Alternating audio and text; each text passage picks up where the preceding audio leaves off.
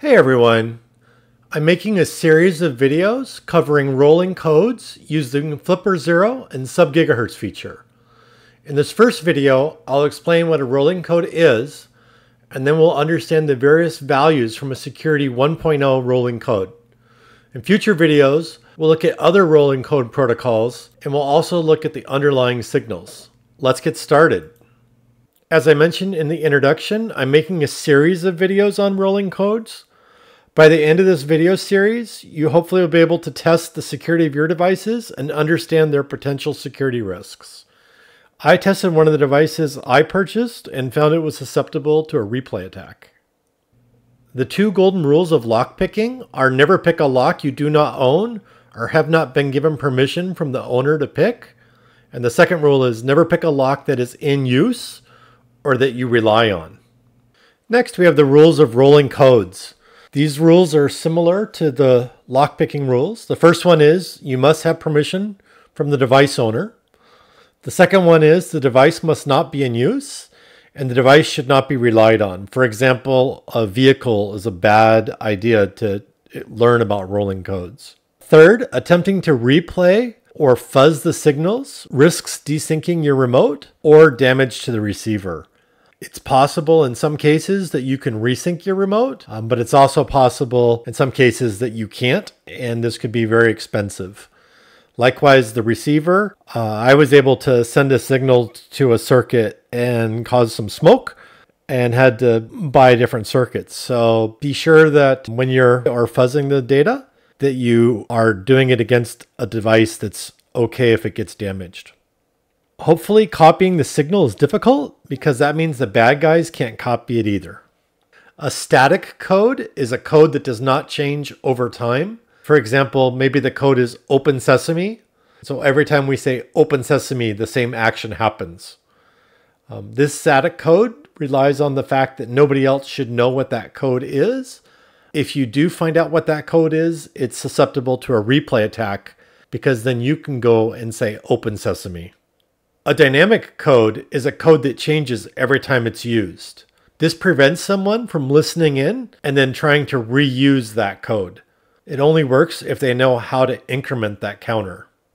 A rolling code is a type of dynamic code that has a fixed range of values. For example, 0000 through 9999. In this case, the rolling code has a set of active codes that's usually a small set, and those are the accepted next code. And then in a set of future codes, uh, if things get desynchronized, sometimes you're able to play two future codes in sequence to kind of reset the set of active codes. And then the past codes are just dead numbers that you're no longer allowed to use.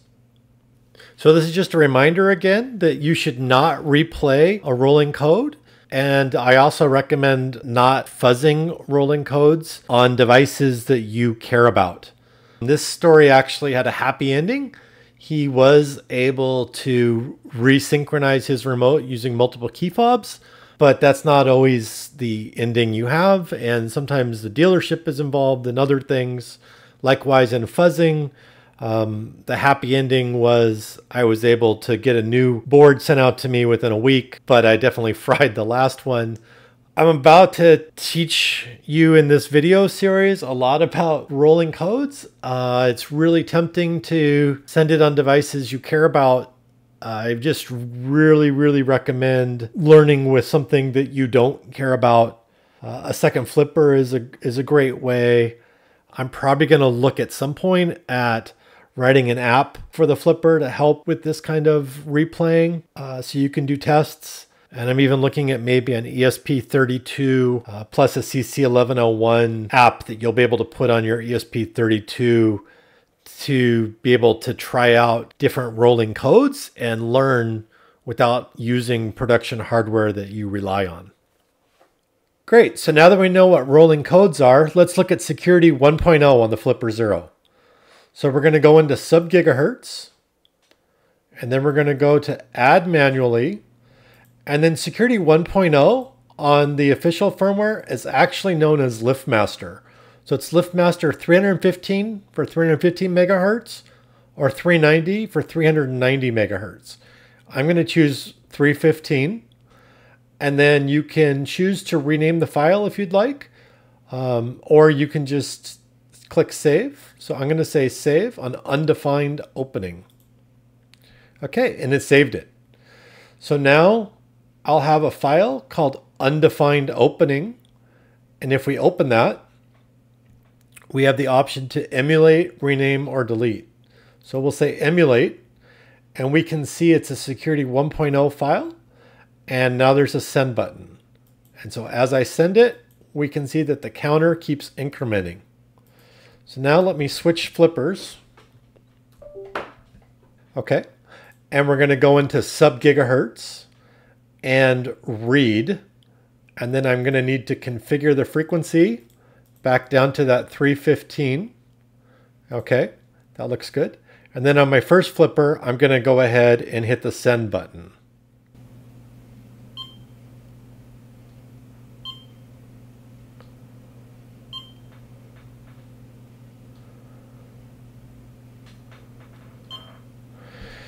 And so you'll notice that I'm receiving these security 1.0s. If we go up and we choose one of these and we click into it, we can see that the code is here and that the count is 18. And if we went down to the next one, the count is 1C. So those are different codes that I was sending. So now let's take a look at the details.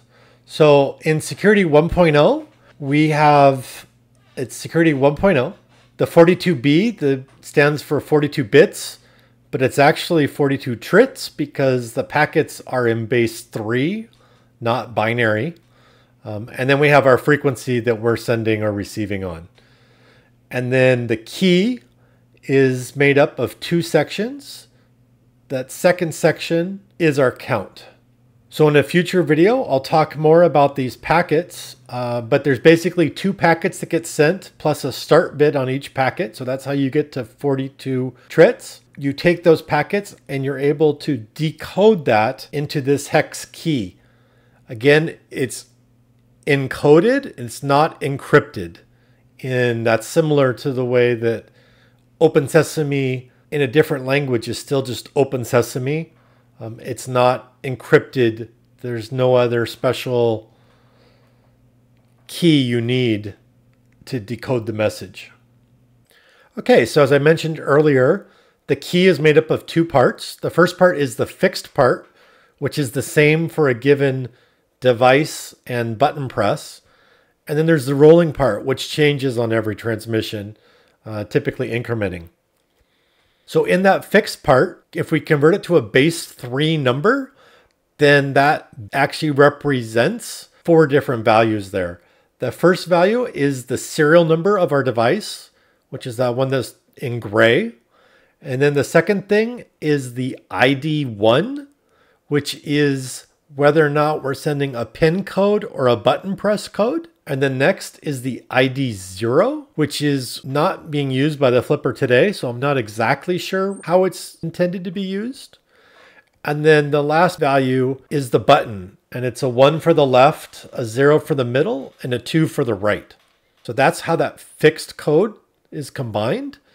Um, so if we wanted to make it a left button instead, then you would expect that that last digit would have been a 1 instead of a 2.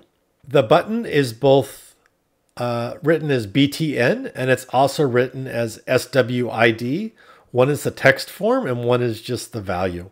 Again, the CNT is just a rolling number that increments, and when it gets to the top of Fs, it'll roll back. I'm not sure if it rolls back to E6000000 or if it rolls back to another number. So the last thing I wanted to talk about in this video is that every time we're on our Flipper Zero and we send a code, uh, that new code is getting written out. So in this case, uh, we click OK. We see we're at 2.6. If we back up and we reload that file, it's at 2.6. If we back up and we reload that file, it's at 2.6. So let's go ahead and switch to SD card, sub gigahertz, undefined opening. Say download. We'll go ahead and save that. We'll switch back to the flipper. There you go. So this is our saved file, you can see. Uh, and you can see that that key is right here in that file. So every time we press the button, it is updating that sub file. Uh, you want to make sure if you saved off a sub file, if you ever copy it back onto your flipper, um, you're probably playing an old code and you risk desyncing things. Uh, so make sure that you always save off the sub file from the flipper and you don't overwrite it with an older version unless you mean to. So in this video, we learned about rolling codes, and then we also learned about Security 1.0 protocol. We understood how to take all the bits from the key and break them into the different parts of the output. And we also understand that that key is incremented every time on the Flipper Zero's subfile.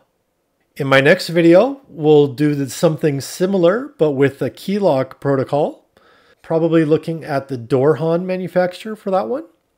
Please like and subscribe, and if you have any questions or comments, please leave them below or in my Discord. Thanks a lot.